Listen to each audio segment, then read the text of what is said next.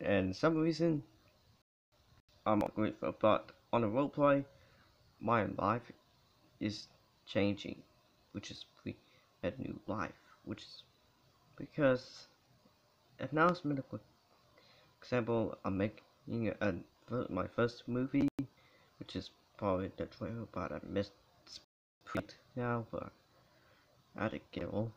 But and my hair looks like uh, look like an actor, but who knows?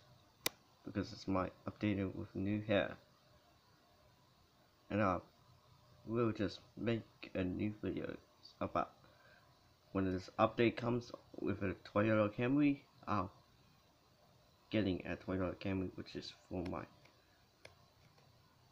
budget cars